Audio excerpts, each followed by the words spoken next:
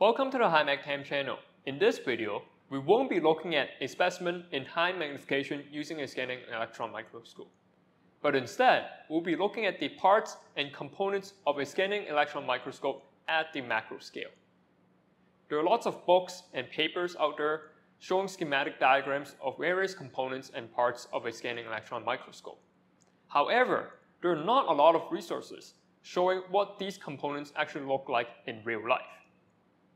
A while back, I had the opportunity to disassemble an old scanning electron microscope, and I collected some of these parts and components.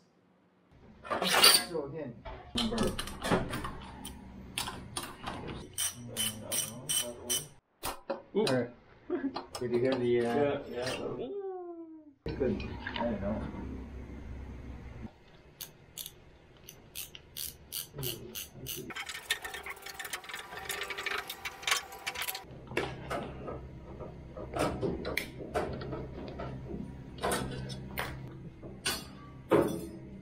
How heavy is this thing?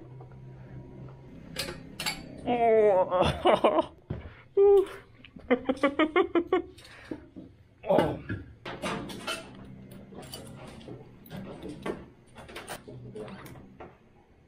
Oh, wait, one more. Okay. It looks like everything.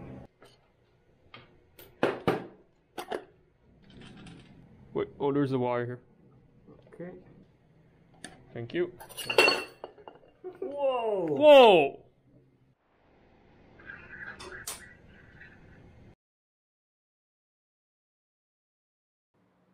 Let's go over the details of these components. First, we'll look at the electron source. To generate the electron beam that is needed to obtain high magnification images, we need an electron source. There are different types of electron source. There's the thermionic source, there's the Schottky emitter, as well as the cold field emitter. For this particular SEM I disassembled, it has a cold field emitter. Looking at the emitter, there is a V-shaped wire, and at the apex of the V-shaped wire, there is a sharp single crystal tungsten needle oriented in the 310 direction. In order to generate electrons from the cold field emitter, it needs to be in a ultra-high vacuum environment. Ultra-high vacuum means the pressure is 10 to the negative 9 Pascal or 1 nanopascal. Just for comparison, we live in an atmosphere of 100 kilopascal or 10 to the 5 Pascal. An ultra-high vacuum environment is required to keep the single crystal tungsten needle in pristine condition, free of contaminants in order to generate the electrons for the electron beam.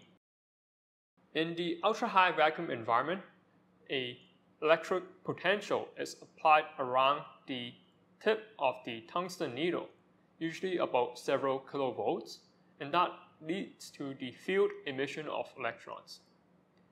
The electrons emitted from the emitter then passes through several anodes to achieve the desired accelerating voltage or beam energy. That is the electron source. And as with any optic instrument, any type of microscope, including optical microscope, there must be some lenses. So clearly, I don't have any glass lenses with me, but I have electromagnetic lenses.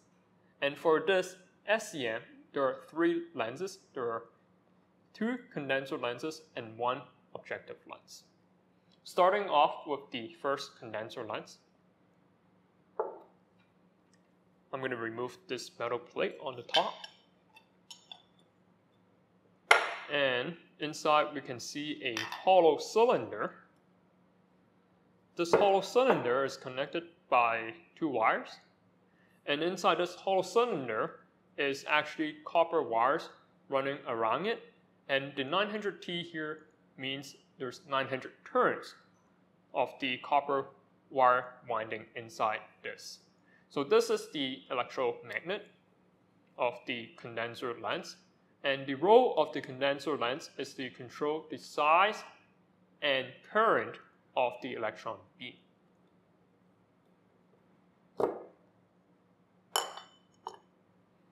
Again, you apply a current through this electromagnet and that would change the trajectory of the electron beam as the electromagnet alters the magnetic field.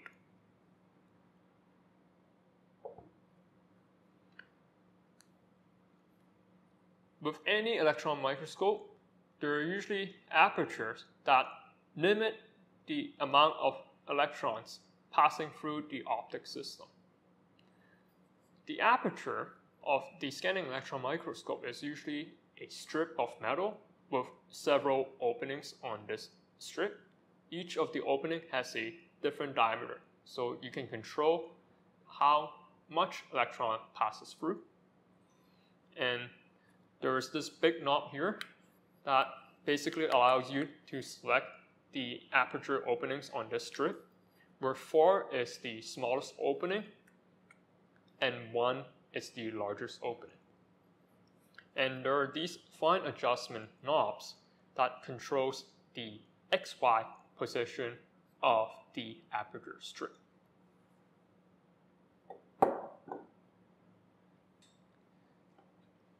Next, we have the second condenser lens. This one has a, uh, the assembly is a lot taller as you can see. And again, there's a cap. I've removed the cap. And once again, we see a hollow cylinder. This is a electromagnet. And inside this electromagnet, there's the copper wire running inside. Here it says 1000 T, meaning it's 1000 turns. Let's put this electromagnet aside. And we can see there's this series of copper coils. This is actually a beam deflector, or deflector coils.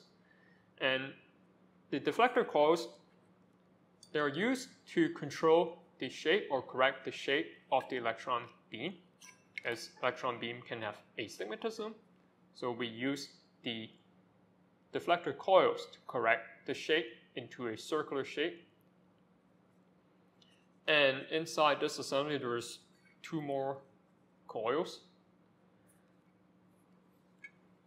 And at the bottom of this assembly, there's another set of deflector coils. So these deflector coils may be used to control the raster, the scan of the electron beam. And depending on how large of an area you scan, if you scan a large area, that means you're getting a lower magnification image. If you scan a small area, you get a higher magnification image. So that is the beam deflector coil and the second condenser lens.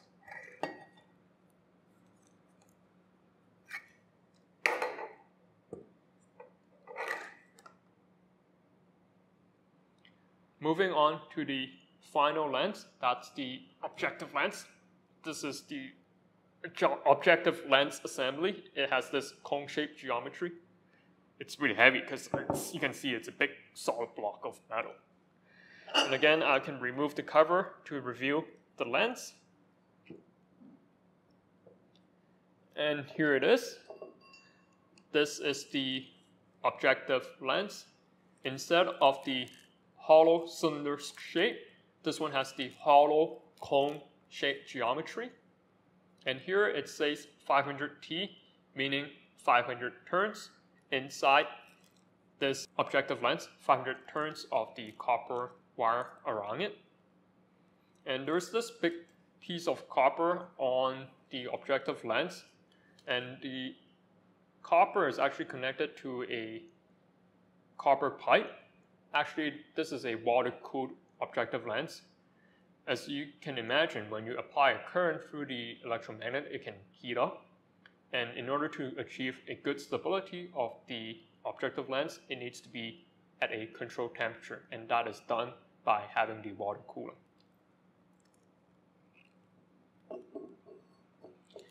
The purpose of the objective lens is to have the electron probe focus right at the surface of your specimen.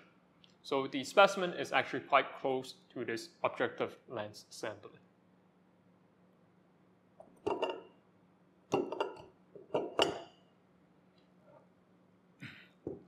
When the electron beam interacts with the solid specimen, it generates different type of signal that includes secondary electrons or X-rays for the chemical analysis.